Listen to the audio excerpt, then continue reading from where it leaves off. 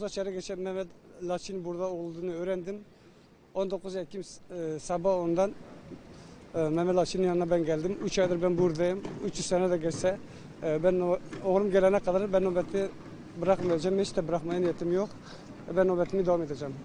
Peki oğlunuzla en son ne zaman görüştünüz? Hiç irtibat kurabildiniz mi? Abi 5 sene oldu hiçbir telefon, hiçbir bağlantımız yok abi. Abi ben Diyarbakır'a gittim. Ben 5 senedir hiç o umudumu kesmedim. Kesmemeye de devam edeceğim abi. Ee, ben yurt dışında, Türkiye'nin gelinde her tarafa ben gezmedim, gitmedim. Memleket, şehir yok. Diyarbakır'a gittim, İstanbul'da gittim, İzmir içinde. Yani Türkiye'nin her tarafına e, oğluma ulaşmaya çalıştım ama bir türlü bir bağlantı kuramadım, ulaşamadım. Şimdi abi Mehmet Laçin var, bir de iki tane bayan var. Onlar da e, Kemalpaşa'dan geliyorlar. Bugün e, babası rahatsız olduğundan dolayı gelemedi. Yarın yine buradalar. E, benim duyularıma göre e, İstanbul'da, Bursa'da, e, Uşak'ta üç ailemiz daha var. Beş aile olacağız.